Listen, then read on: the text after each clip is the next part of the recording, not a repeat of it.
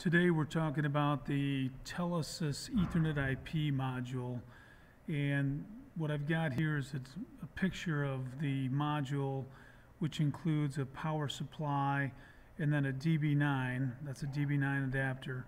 If you don't have a DB9 adapter or serial port, then you have to have an RS-232 to USB, and that's what this guy is. I would highly recommend getting Telesis's version, that way you've got everything here. So whether you plug in the back of a computer or plug in the back of the controller, um, on one side we're talking Ethernet IP, and on the other side we are talking messages. So how does it work? What I've got here is a picture of the uh, the mapping um, of the signals and some digital I/O here, and then we also have the Allen Bradley RSLinx or whatever the, uh, you know, the module here kind of laid out. So you've got digital I.O., pretty straightforward, on, off, on, off, gets ready immediately. When we talk about messages, when we have a message, we have a message ID. It's really a trigger, which means when this register 3 changes, it signifies new data. We've got a message type, and the types of data that we can send are patterns or variables or overwriting lines or a go command, that type of thing. And then we have the message data. So in here you can see you've got your three, your four, your five, and then you have six, seven, eight.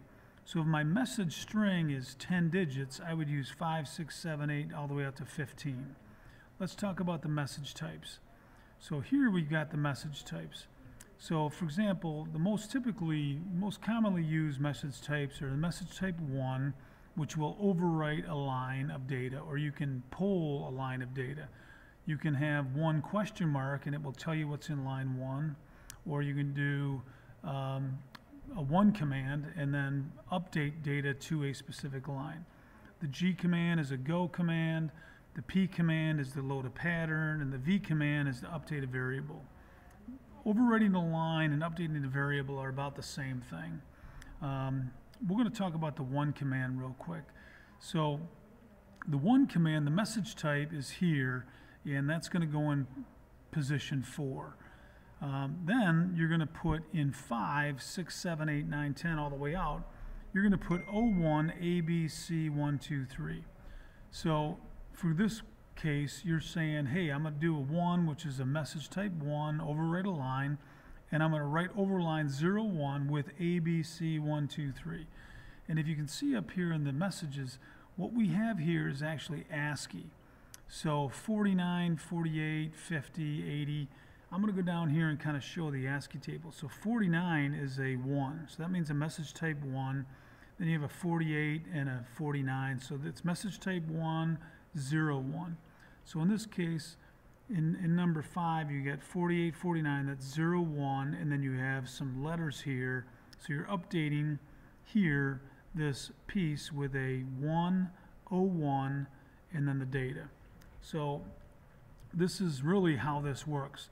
So you put a 1 in the message type, you type in, you know, 0 would be in 5, 1 would be in 6, A would be in 7, and all the way out. And then when that's all done, you physically change register 3 from a 1 to a 0, from an A to a Z. Anytime it changes, it triggers new data, and then we'll respond back, hey, you sent me a 1 command, and I will acknowledge.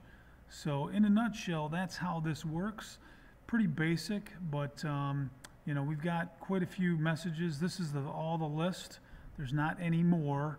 And if you have any questions, um, give Telesis or PTR Sales a call. Thank you.